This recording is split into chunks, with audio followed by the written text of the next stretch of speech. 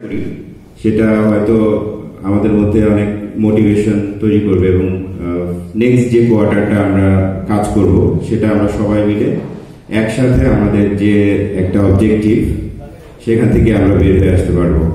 তো আমি আমার একান্ত দুইটা কথা আপনাদের সাথে শেয়ার করতে চাই। আমি প্রতিনিয়ত যে কাজটা করে যাচ্ছি, একজন সেলসম্যান হিসেবে, আমি সবসময় আমার ভিতরে একটা মানে গর্ব কাজ করে। কারণ ইতিহাসে দেখেছি যখন একজন যুদ্ধ ফেরত, বিজয়ী একজন কমান্ডার, সে দেশে ফেরত আসে, সে প্রথমে তার পরিচয় দেয় যে আমি একজন সৈনিক, আমি একজন সোলজার হয়তো সে একজন ফিল্ড মার্শাল বা একজন জেনারেল কিন্তু সে গর্বিত কারণ সে একজন সৈনিক। তো আমি সবসময় এটা আমি আমার মাথায় কাজ করে যে আমি কোন ডেজিগনেশন আমি ক্যারি করছি সেটা আসলে কোনোই গুরুত্ব বহন করে না। আমি সবসময় আমার ভিতরে একটা গর্ব কাজ করে যে আমি একজন সেলসম্যান।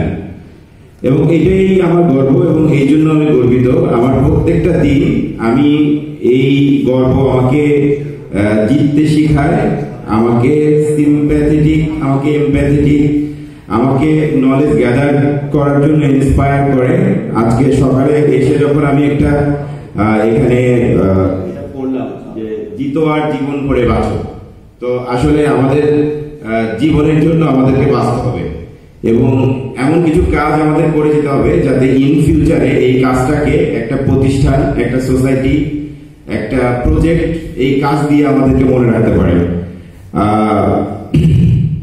যখন আমাদের দেশ স্বাধীন হয়, ওই সময় কিন্তু তিতুমির থেকে আমরা প্রেরণা পেয়েছি। তো উনি তার কয়েকশো বছর আগে উনি মারা গেছেন। কিন্তু তার তার কথা চিন্তা করে আমাদের সোলজাররা কিন্তু মোটিভেটেড ছিল।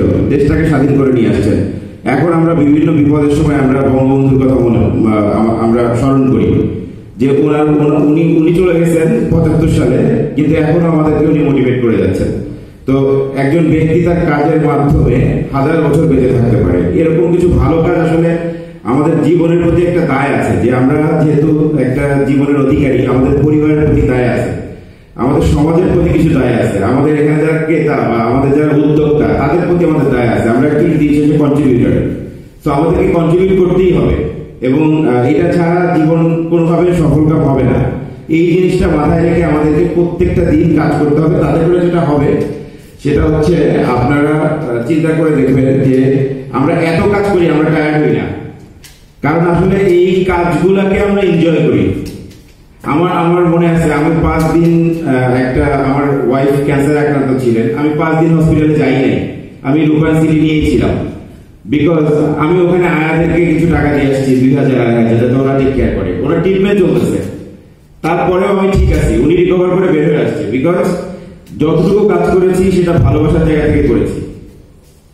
তো আমি বিশ্বাস করি যে আমাদের এখন টিমের যে ফরমেশন আমরা যে মানসিকভাবে একটা এক- একাত্মতা নিয়ে কাজ করে যাচ্ছি।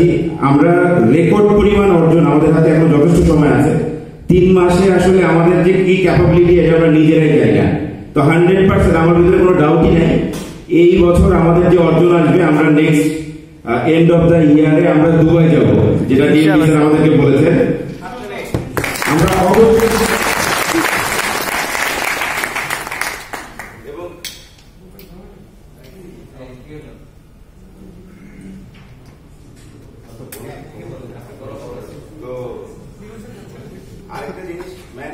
ম্যানেজমেন্টকে আমাদের যে আস্থা রেখে যাচ্ছেন। আমরা ফেল করছি আমরা খারাপ সেকেন্ড ডিভিশন পাচ্ছি।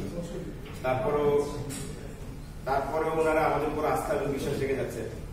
বিকজ ওনারা জানে যে আমরা সেকেন্ড ডিভিশন পেয়ে হলেও ঢাকা ইউনিভার্সিটি চাষ তো লাস্ট কোয়ার্টারে যে ঠিকই আমরা সাকসেস হব এটা নিয়ে কিন্তু ওনাদের কোনো ডাউট নেই। তো এটার জন্য অসংখ্য ধন্যবাদ আমাদের প্রতি আস্থা রাখার জন্য। ইনশাআল্লাহ আমরা স্যার জিতবো আর আমরা জীবন করে সবাই একসাথে বাঁচবো। Thank you, sir.